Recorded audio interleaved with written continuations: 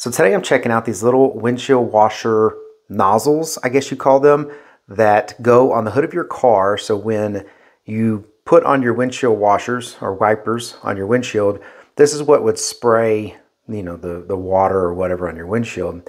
Now, we have some Chevy Volts and these got real brittle and they started falling off and one of them's broke and it's spraying in the hood. It's just a big mess. But these are supposed to be the replacements for it. It does come with these little rubber gaskets that go up underneath here. You can see I've already slid one underneath this. And that's just so when you snap it into place, it's gonna sit on the hood, you know, nice and tight and not wiggle around, make any noise.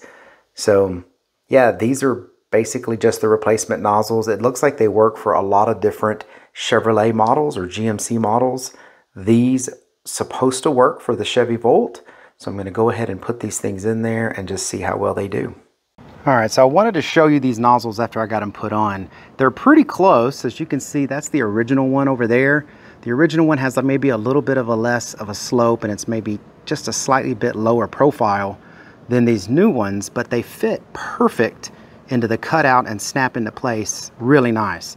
I put this new one in and I left the old one in there just so you could see it, but you know, it comes with two. So I'm putting one here and I'm putting one over there. So it has two brand new sprayers, sprays really well. You shouldn't have a problem with these at least for a long time before they get brittle again. Definitely recommend these if you have a Chevy Volt or anything um, that these fit. Thank y'all very much for watching. Take care.